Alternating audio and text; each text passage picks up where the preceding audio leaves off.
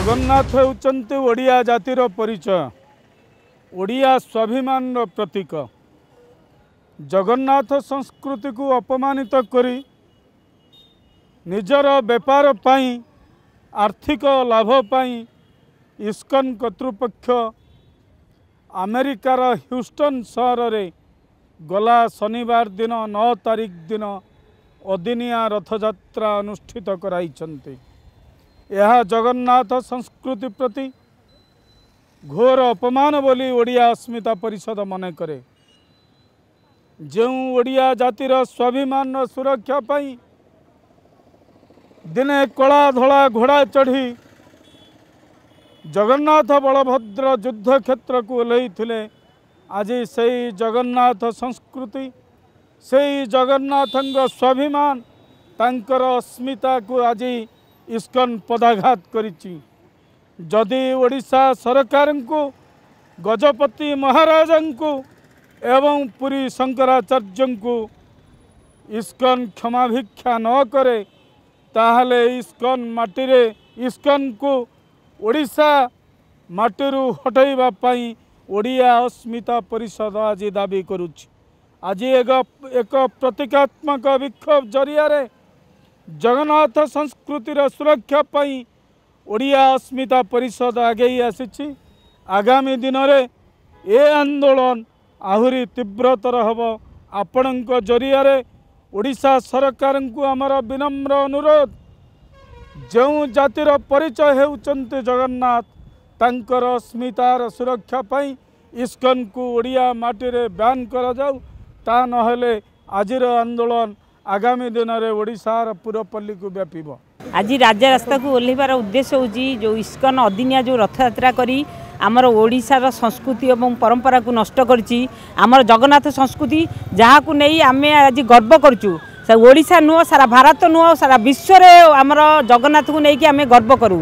ଆମର ନିଜସ୍ୱ ବ୍ୟକ୍ତିଗତ ଜିନିଷକୁ ନେଇକି ସେ ଯେଭଳି ଭାବରେ ଇସ୍କନ ବେପାର କରୁଛି ସେ ବେପାର ପାଇଁ ଆମେ ଆଜି ଇସ୍କନକୁ ଅନୁରୋଧ କରୁଛୁ ଯେ ସେ ଆମକୁ କ୍ଷମା ଭିକ୍ଷା କରନ୍ତୁ ଆମର ସଂସ୍କୃତି ପରମ୍ପରାକୁ ଯେଉଁ ଅଦିନିଆ ରଥଯାତ୍ରା କରିଛି ସେଥିପାଇଁ ସେ ଆମର ଯେଉଁ ଇଏ ଅଛନ୍ତି ଆମର ଯେଉଁ ମନ୍ତ୍ରୀ ଅଛନ୍ତି ଏବଂ ଜଗନ୍ନାଥର ଯେଉଁ ଶଙ୍କରାଚାର୍ଯ୍ୟ ଅଛନ୍ତି ଜଗନ୍ନାଥ ସଂସ୍କୃତିର ଯେଉଁ ଶଙ୍କରାଚାର୍ଯ୍ୟ ଅଛନ୍ତି ତାଙ୍କୁ ବି କ୍ଷମା ପ୍ରାର୍ଥନା ମାଗନ୍ତୁ ଏବଂ ଗଜପତି ବି କ୍ଷମା ପ୍ରାର୍ଥନା ମାଗନ୍ତୁ।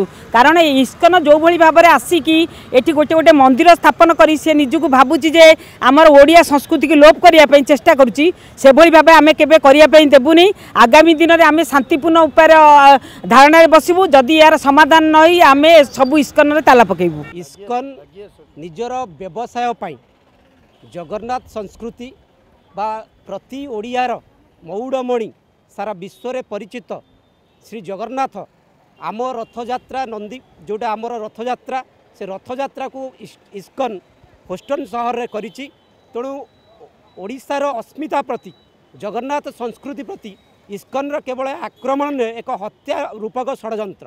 ଏ ଷଡ଼ଯନ୍ତ୍ରର ମୂଳ କାରଣ ହେଉଛି ଇସ୍କନର ବ୍ୟବସାୟ ବଢ଼ାଇବା ଆର୍ଥିକ ରୋଜଗାର କରିବାର ପରମ୍ପରା ଇସ୍କନ ଆରମ୍ଭ କରୁ। ଜଗନ୍ନାଥଙ୍କର ଆଦ୍ୟ ରୂପ ହେଉଛନ୍ତି ଭଗବାନ ଶ୍ରୀକୃଷ୍ଣ। ଯେଉଁ ଭଗବାନ ଶ୍ରୀକୃଷ୍ଣଙ୍କର ହୃଦୟ ବା ଯାହାକୁ ଆମେ ହାର୍ଟ କହୁଛୁ ଇଂରାଜୀରେ ସେ ହୃଦୟକୁ ଆଣିକି ଜଗନ୍ନାଥଙ୍କର ପ୍ରତିମା ଭିତରେ ରହିଛି ମୂର୍ତ୍ତି ଭିତରେ ରହିଛି। ସମ୍ପୂର୍ଣ୍ଣ ରୂପେ ବିରୋଧ କରାହେଉଛି ରଥଯାତ୍ରା କେବଳ ଶ୍ରୀଗୁଣ୍ଡିଚା ବା ଘୋଷଯାତ୍ରା ଯେଉଁଦିନ ହୁଏ ବାହୁଡ଼ା ଯେଉଁଦିନ ହୁଏ ସେହି ଦିନକୁ ଛାଡ଼ିଲେ ଆଉ କୌଣସି ଦିନ ରଥଯାତ୍ରା ହୋଇପାରିବ ନାହିଁ।